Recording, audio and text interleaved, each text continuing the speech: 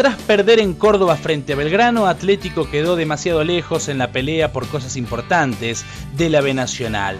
Por eso deberá primero mejorar su nivel futbolístico que fue deficitario frente al Pirata y ganar en casa.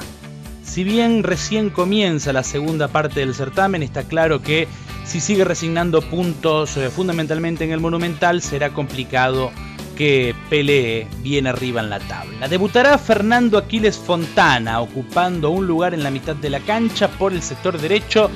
Truchet confía desde el vamos en un jugador que conoce muy bien por haberlo dirigido en Benur.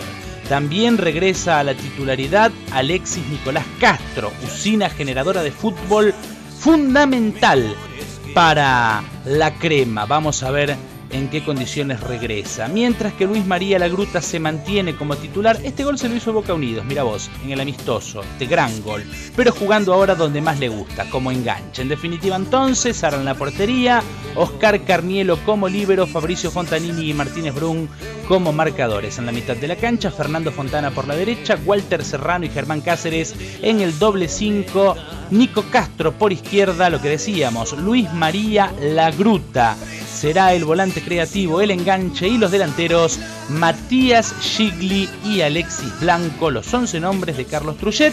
En Boca Unidos sobresalen las presencias del flaco Alejandro Donati, que también en el partido amistoso de hace tan solo algunos días atrás había convertido estos dos goles, un ex futbolista de 9 de julio, hincha de ese club además que tendrá su partido especial como siempre ocurre también con Claudio Bustos, que por este tipo de gestos se ha ganado el odio de la gente de Atlético de Rafaela, el rifle jugó la semana pasada en la goleada 4 por 0 ante Quilmes y anotó uno de los tantos Dos fueron también de Cristian Rami. Ambos componen una dupla ofensiva realmente temible. Cerramos repasando esto, los goles del partido de la primera ronda. Lo ganaba Atlético con la asistencia de Gigli y el gol de Fernando Maco Sampedri, pero lo empató el equipo correntino con este cabezazo precisamente de Cristian Rami. Comienza a las 21 en el Monumental y dirige Guillermo Rietti.